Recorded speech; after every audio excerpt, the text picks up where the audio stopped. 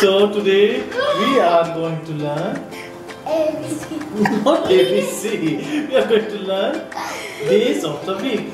So for Monday, we write down the days on the curve like this. He will recognize it. So I will turn like this and tell him how to do days of the week. How many days of the week? Three or seven? Seven. Okay. Okay. Here's the Monday. Yeah, We are teaching you how to do the matching Monday. Monday. Look here. Is it the same? Yeah, Okay. Monday. Monday. Very good. Okay. Where's after Monday?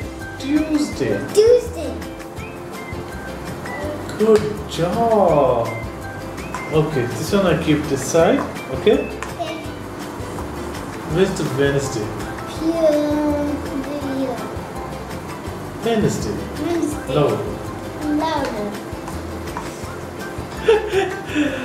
You have to speak louder, okay? So people can listen what you're saying, okay?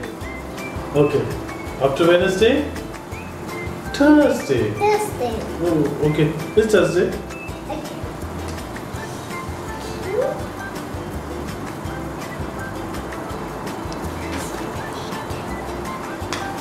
Good job. Okay. Now, Huh? after Thursday, what day come? Friday. Friday. Friday. Okay, where's the Friday? Yeah.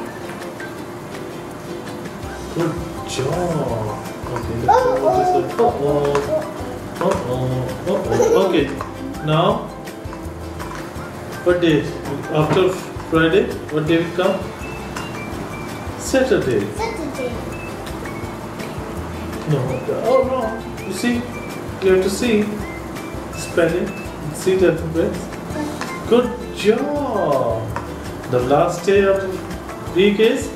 Sunday. Very good. Good job. Okay. Now what we do, we put the numbers. Okay. So you know the numbers. Okay. Very good. Okay. So first day Monday. Monday. One. Second day of the week is Tuesday. Tuesday. Two. Now we are telling him the days with the numbers. One and two is already put. Hello. Okay. And now I'm telling him with the numbers. Okay. So third day is Wednesday. Wednesday here. No. Wednesday. Yay! Fourth day. Friday. Yes. Thursday.